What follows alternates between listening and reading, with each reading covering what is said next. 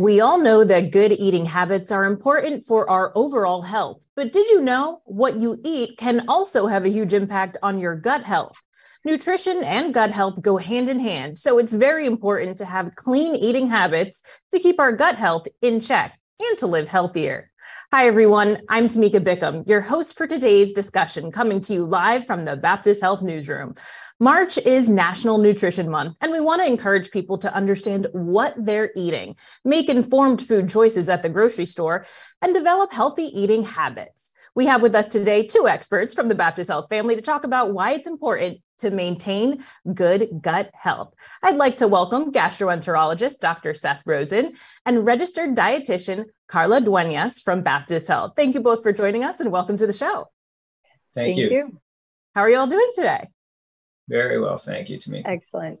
Wonderful. So, first, I want to say before we dive into today's subject, I want to remind our viewers to go ahead and send in your questions and comments throughout the segment. We are here for you and happy to answer any questions you may have. So, let's go ahead and dive in. First question is for you, Dr. Rosen. Let's start off with the basics. What are the signs and symptoms of an unhealthy gut? And what are some warning signs that you should see a doctor? You know, the uh, the biggest thing is if there's a change in the way you feel.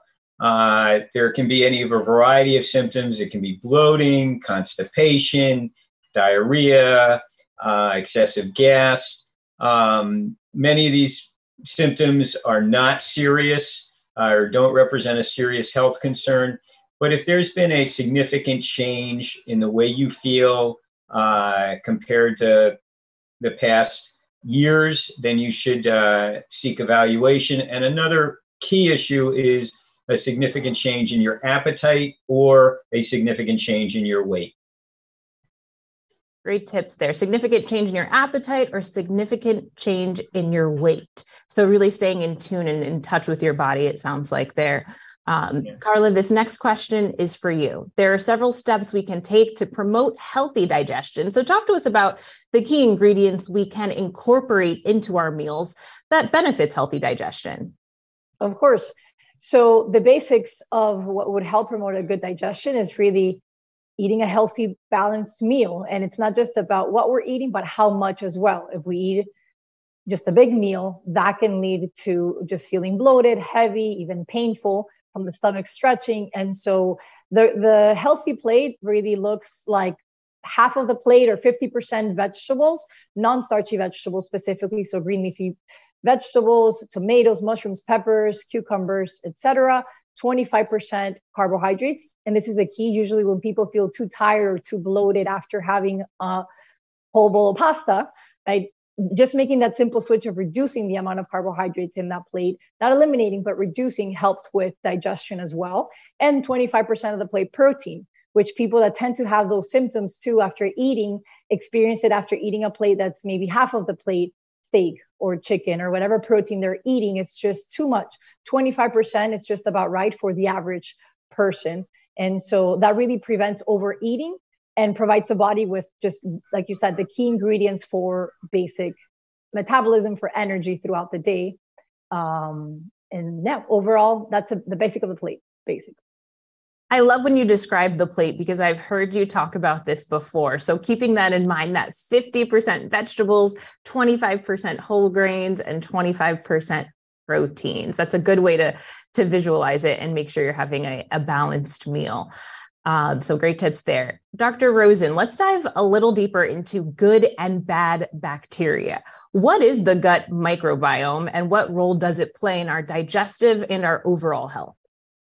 So there are literally billions of bacteria that live in the GI tract. Uh, some people have estimated that there are more bacteria cells in the GI tract than there are human cells in the body. Um, and they, they provide a, a whole variety of functions. They help with digestion. They provide some nutrients to the body that then subsequently get absorbed. Um, they maintain homeostasis, which is healthy balance in the body. Uh, and when they get out of balance, you can have a, a host of different uh, symptoms. Uh, some of which, again, are, are serious, some of which are just annoying gas, bloating, diarrhea. Uh, there are bad bacteria that you can uh, that you can have. Um, sometimes you can get an infection from something you've eaten, and everybody's had a gastroenteritis. It can be a virus, it can be bacteria. Um, you can have bacteria that actually live in the GI tract that are kept in check by the good bacteria. If you take antibiotics, you can uh, you you can get rid of uh, some of the good bacteria, and the bad bacteria can overwhelm the system. And the classic example of that, which uh, has gotten a lot of press in past in recent years, is uh, Clostridium difficile, which causes a very severe, can cause a severe diarrheal illness. Uh, so there is a, a fine-tuned balance of bacteria in the GI tract uh, that's, that's critical for uh, healthy functioning. Great information there. Um, thank you. Now, Carla, we have all heard that saying that food is medicine. I love that saying. So, with that being said, what types of food can keep your gut healthy? Um, basically going back to Dr. Rosen, what we eat feeds that bacteria, specifically the healthy bacteria, or that's what we should be promoting, right? Feeding the healthy bacteria. So there's two categories of food when we think of gut health and what types of foods can feed those bacteria. And typically people get them confused. So they're called prebiotics and probiotic foods, right? So the best way I can explain it is the prebiotics are food for the probiotics. The probiotics are the live bacteria that, like Dr. Rosen mentioned, we have in our guts, but we can also eat them in foods or found in certain foods that are specifically fermented foods. And so, to give examples of probiotic foods, the most common one that probably we have all eaten at some point in our lives is yogurt, is fermented milk. So, if you're eating any type of yogurt, that is a naturally probiotic food. Other examples are not so common, especially here in America, but kimchi, which is fermented cabbage. We also see sauerkraut, which is fermented cabbage, just different spices. Um, kombucha, which has had gotten a lot of attention in the last couple of years. I think that's becoming more mainstream. It's fermented black tea. And the last example I can give is tempeh, which is fermented soybeans. And all of these have an acquired taste. And I get that we didn't grow up eating, but I definitely encourage people to give it a try. It takes multiple exposures, but as you're eating those foods, you're adding more of those healthy bacteria to your gut, right? So increasing the population of the healthy bacteria. And then on the other side, if you compare those foods, or at least eat them also a couple of times a day, the prebiotic foods, which again, those are the food for the bacteria. These are specific types of fiber. So think of plant foods. Fiber is found in all plant foods. And so things like bananas, garlic, asparagus, artichokes, um, I mean, and going down the list is really all fiber foods. That healthy bacteria loves fiber. So, a quick example here Greek yogurt with banana. You're eating a prebiotic and a probiotic in one sitting. So, that's a great way to keep your, your gut health in check. It sounds like there's plenty of options there to help keep our gut health in check that we like, but also some of those that you mentioned have that acquired taste. So I think a wide range for for those of us to choose from. Uh, Dr. Rosen, this next question's for you. Our immune system is extremely important, and I've heard that a healthy gut and a healthy immune system go hand in hand. So, what is the relationship between our gut and our immune system? So, the uh, gut has an extensive uh, collection of immune cells, uh, white blood cells, uh, and the, the GI tract is technically considered outside the body, but it's the entrance into the uh, rest of the body.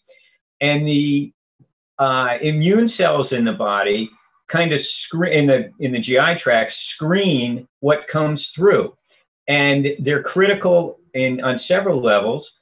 Uh, they help uh, promote immune tolerance so that you don't react to everything that comes through as if it's an infection or a foreign invader. And it also uh, triggers the uh, body, body's appropriate reaction when there is uh, a pathogen, a bad virus or bacteria that uh, gets into the GI tract and then could get into the body uh, proper. So the it has been said that the GI tract has the largest collection of immune cells in the body, and uh, it's kind of its own immune system. So it's critical to the way uh, the body handles uh, both illness and health. And it starts out immediately uh, at the uh, after you're born, at the time of birth, uh, when suddenly uh, a sterile area has now uh, uh, exposed to a variety of bacteria that you get, and it continues throughout your life. Wow. That is really fascinating and great information how important our gut is to our overall immune system and our overall health. Carla, I want to ask you about dietary supplements. Dietary supplements have been marketed to promote a healthy gut and have been become popular throughout the years. Are these products good for the gut or are they just a gimmick? It's hard to it's hard to answer that question simply, but I guess I'll answer it with with the overall reply, which is supplements in the United States are not regulated. So there's no agency overlooking to see exactly what it has or the amount. So that's I guess warning number 1. Most of them are pretty safe. It's not going to hurt us.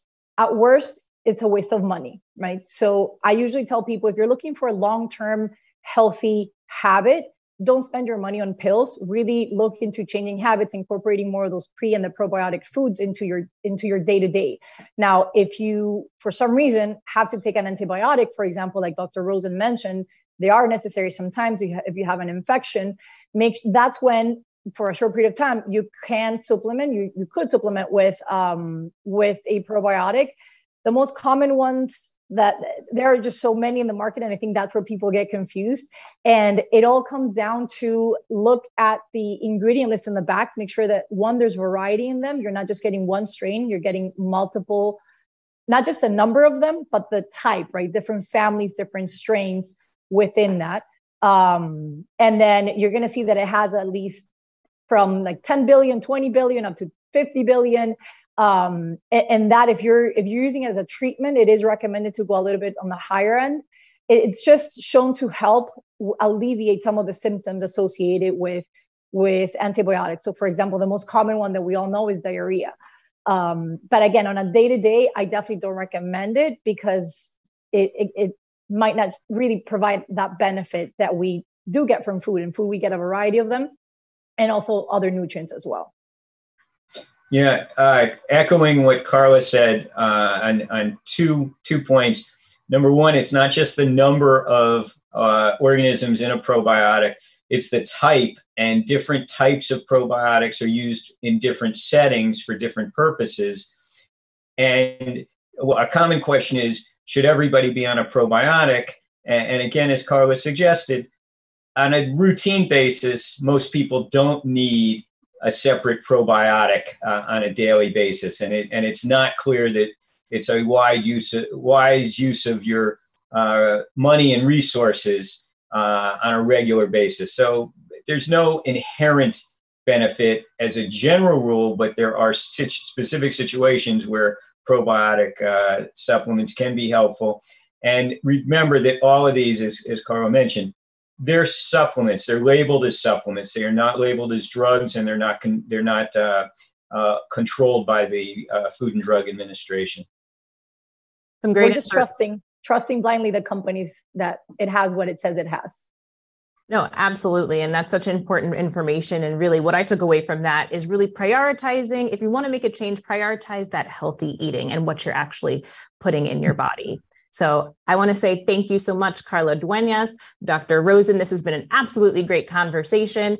And again, I want to say remember to our viewers, be sure to go ahead and hit that subscribe button on our channel here to keep up with the latest health and wellness information and tips from our experts. You can also connect with us on all of our social media channels. We're everywhere Facebook, Instagram, Twitter, TikTok, and also LinkedIn. And check out our resource blog for the latest news at baptisthealth.net slash news. You'll find a link there to all episodes of the Baptist Health Talk podcast as well. On behalf of everyone at Baptist Health, stay safe, stay healthy. Thank you for watching.